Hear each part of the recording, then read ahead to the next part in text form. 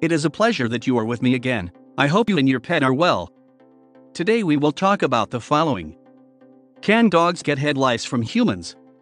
Let's start. If you or someone else in your household currently has head lice, you may be wondering who it could spread to. We know that head lice can be spread from person to person, but can we also spread it to our dogs or other pets? Let's break down the details below. 1. Lice. What are they? Lice are tiny parasites that attach to the skin surface of their host and feed on their blood. Lice can not only cause severe itching with their bite, but even their presence moving on the skin can cause severe irritation. Most forms of lice can lay up to 8 eggs per day and will continue this cycle for just over 2 weeks. A head lice infestation can quickly get out of control, so no one wants to fall victim to head lice. 2. Can dogs get head lice? Like many other types of mammals, dogs can get head lice. Lice on dogs are very similar in appearance to the lice we see on humans in that they are also wingless, have six legs, and do not grow larger than a grain of rice. Lice on dogs also burrow into their fur and latch on to feed on blood. Some forms of lice in dogs also feed on the dead skin and oils on your skin, but this form of lice is much less common. Lice on mammals are species specific, which means that dog lice can only survive on dogs.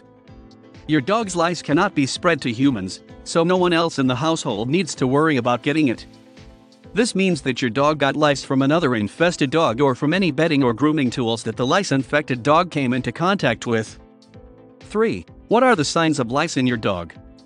Detecting lice in dogs can be tricky, as there are many conditions in dogs that cause them to itch. The best thing you can do is simply notice your dog's skin irritation and know it's time to take him to the vet to further explore his symptoms. Next, I will tell you the most common signs of lice in dogs. Constantly scratching or chewing on the skin. Dry skin and dull coat. Seems restless or agitated. Small wounds on the skin. Bacterial skin infections. Excessive hair loss, especially around the ears, shoulders, neck, and rear. Evidence of tapeworms in your stool, worms that look like grains of rice. If you notice any of these symptoms in your dog, I suggest you see your vet. These symptoms can also be seen in dogs with fleas or skin mites, but these ectoparasites also require veterinary treatment. 4. How are head lice treated in dogs? It is usually very easy to treat lice in dogs. Most of the flea and tick prevention products you buy will kill the fleas on your dog's body, as well as protect him from other irritating critters that feed on his skin.